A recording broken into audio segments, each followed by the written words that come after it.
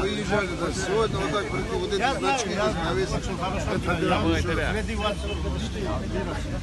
это просто дальше больше здесь как бы не надо сделать. Я не нервничаю. Я, вы как высказались, я тоже хочу высказать свое.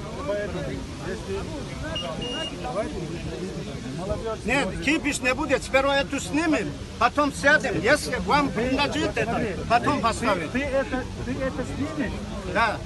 через мой труп. Через мой труп, твой труп тоже снимем, мы его снимем. Ты такой это... Взрослый человек не должен на вопрос отношаться к нему. Не, тебя родил, мама тебя родила, один умрет. Понял, да? За свою землю. За свою землю. Понял? прав хочу умереть. Да, прав хочу умереть, не тупо. Я перед Аллахом должен отчитываться еще. А ты не против этим разговором, не путай. Все здесь на нас смотрят. Все здесь на нас смотрят.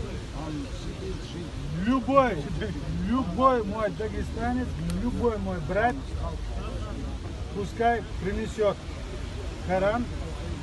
Я и те ребята, которые со мной стоят, 10-20 человек, разницы нет.